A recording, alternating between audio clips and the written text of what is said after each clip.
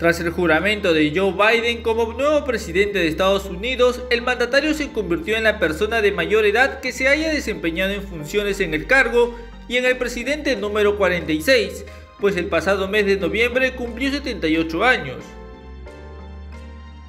En una entrevista para el medio TVU, el mandatario se refirió a su edad y se presentó como un candidato de transición que ayudará a nutrir el nuevo talento demócrata.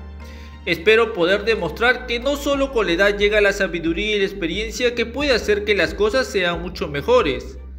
El presidente de Estados Unidos aprovechó su edad como una fortaleza en las elecciones e hizo campaña con dos mensajes claves que según el experto Jeffrey Engel, director del Centro de Historia Presidencial de la Universidad Metodista del Sur en Dallas, fueron las siguientes. Yo no soy él en referencia a Donald Trump. Y el segundo fue soy un adulto y traeré de vuelta la normalidad, un sentido de decencia y demostraré mucha madurez.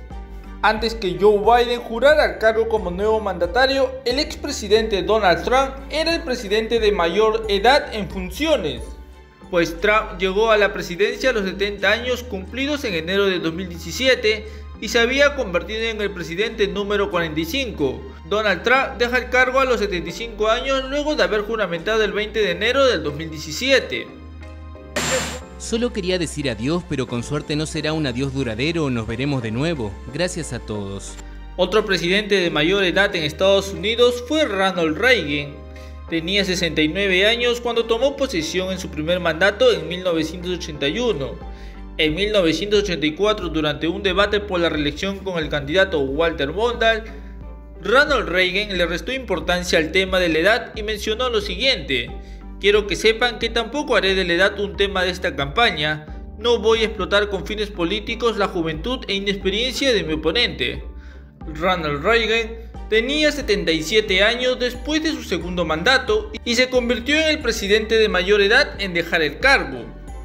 Asimismo, Jimmy Carter a sus 96 años se ha convertido en el expresidente vivo después de dejar el cargo. Carter llegó a la presidencia durante el periodo de 1977 a 1981.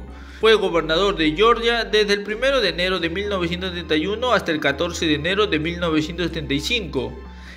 En la juramentación de Joe Biden no asistió pero sí envió al presidente electo Biden y a la vicepresidenta electa Kamala Harris sus mejores deseos.